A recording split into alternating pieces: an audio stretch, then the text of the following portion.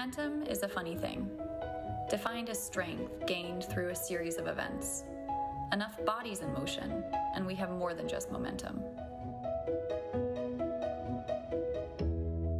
This is a movement, one where people come first, where digital is used for good. Here, innovation is contagious, help is a call away, and collaboration is all we know. We are at home in motion.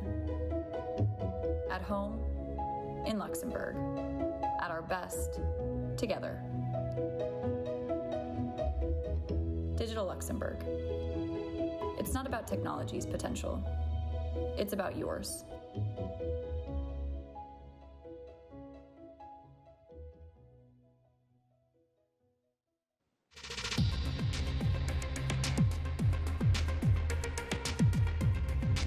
And gentlemen, um, I hope you're having a wonderful Arch Summit. Um, we're sort of coming into the final run now where we're going to be doing our, our final and we've got our, all our judges ready to go. But before we do that, I'd really like to introduce you to the Prime Minister of Luxembourg who's going to say a few words. So please uh, make a warm welcome to Xavier Bettel.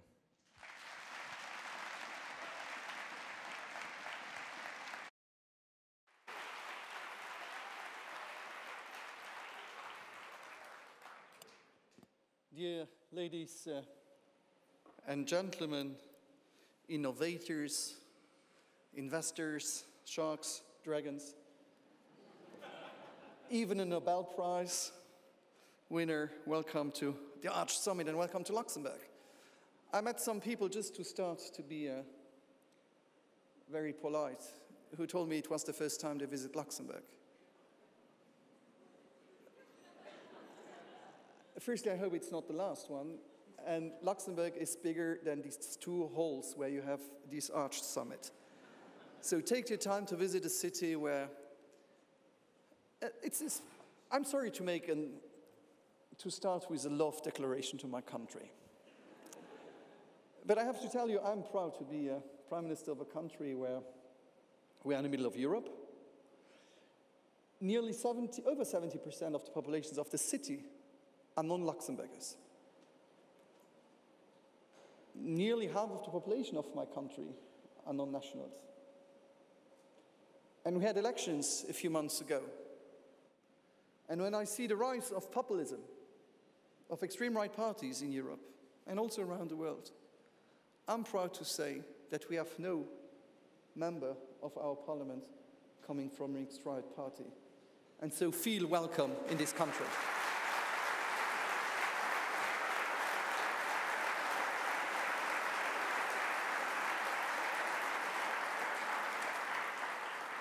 And I remember last year when we arrived here, we were all excited because we didn't know what was going to happen and what to expect.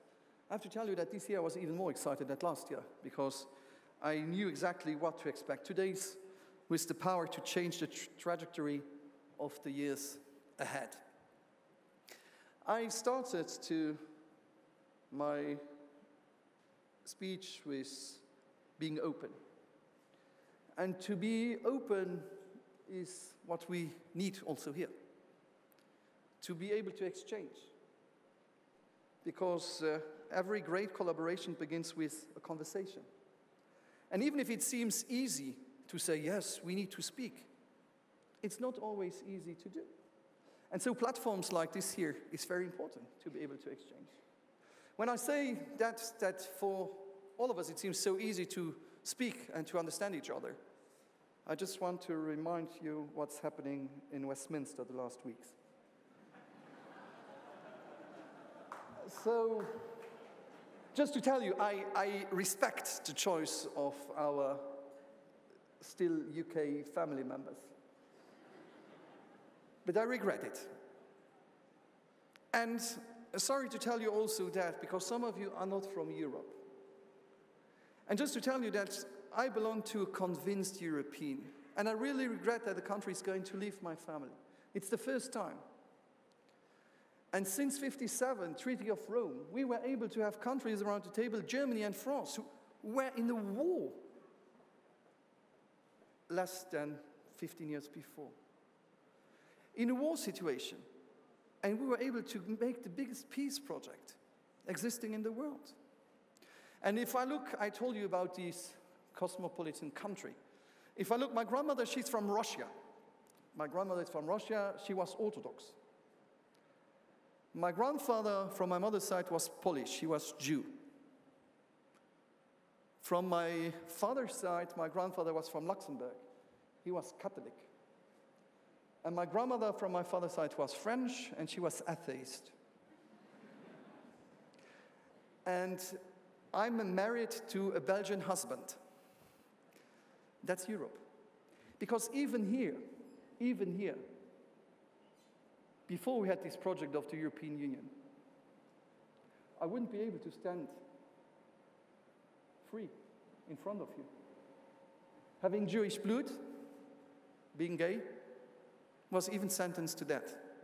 And since 57, we were able to get these rights, what we consider for granted today, to express freely, to live our life how we think it should be, to move, to work, to be sick, to be defended, to study in 28 countries.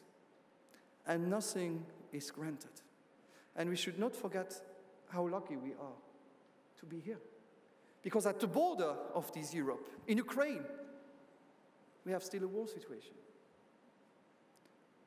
I had last week a discussion with the president, the ex-president of Kosovo.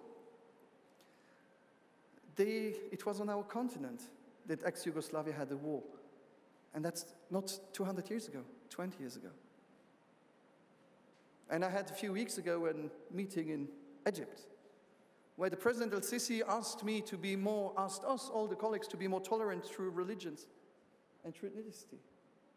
And I told him too that we should be more tolerant for women.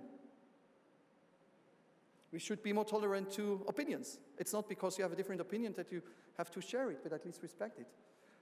And to sexual orientations. I told that.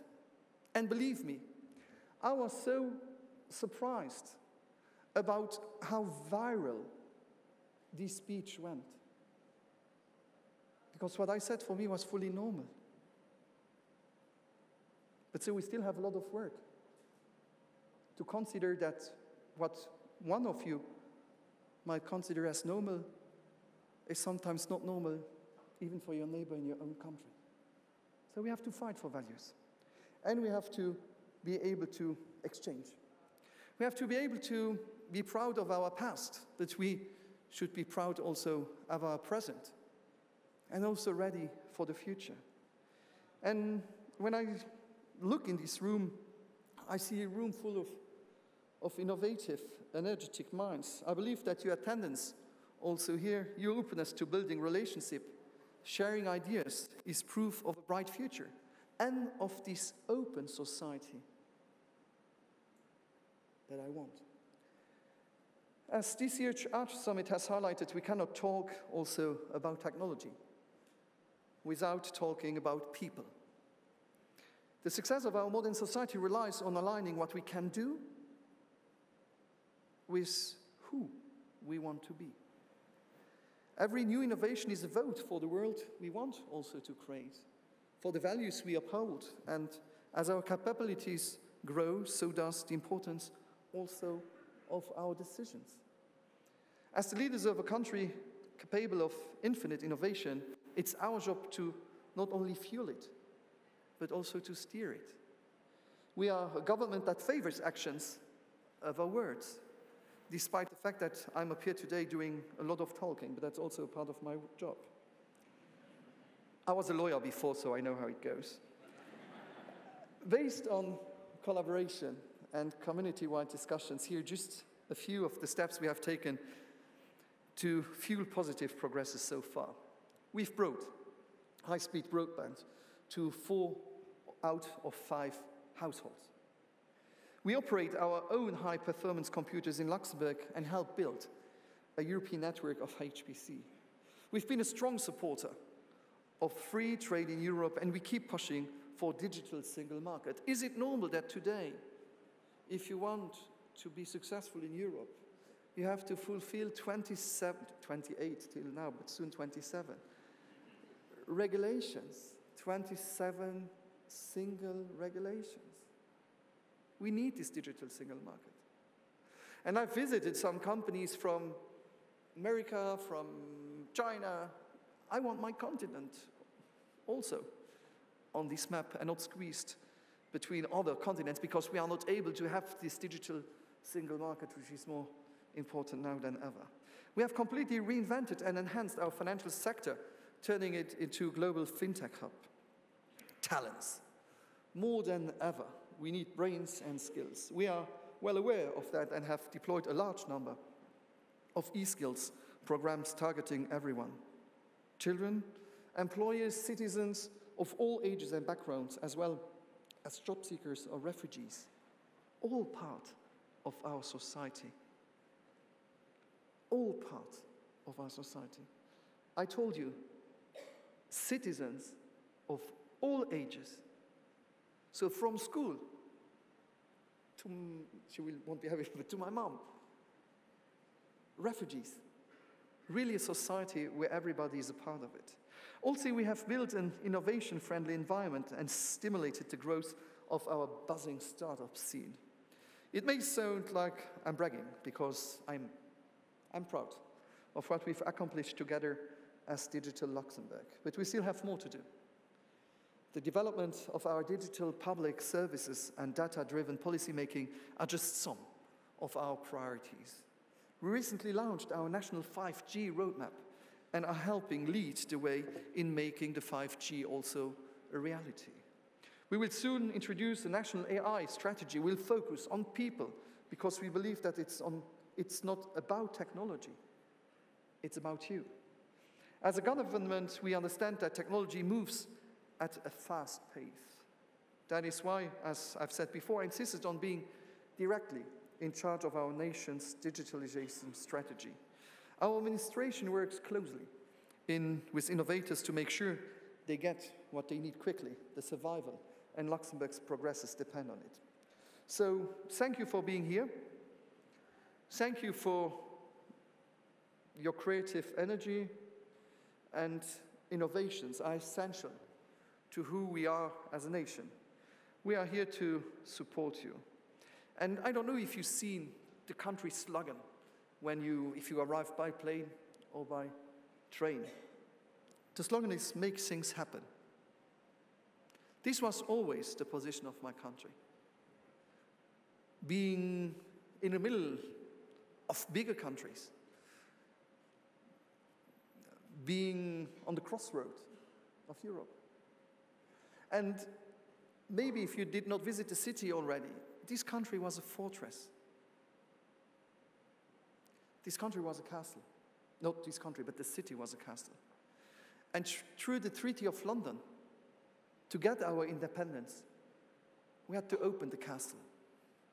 So believe me, in this country where I told you half of the population are non Luxembourgers, where we changed bills to make it easier for women to have a job and to have a family, where we encourage father to take time to take care of the children too where we support where we will have free public transportation soon, next year. Where we separated in the last five years church and state. Is a country where we decided two centuries ago to take walls away. So be careful about politicians who want to build walls. Thank you.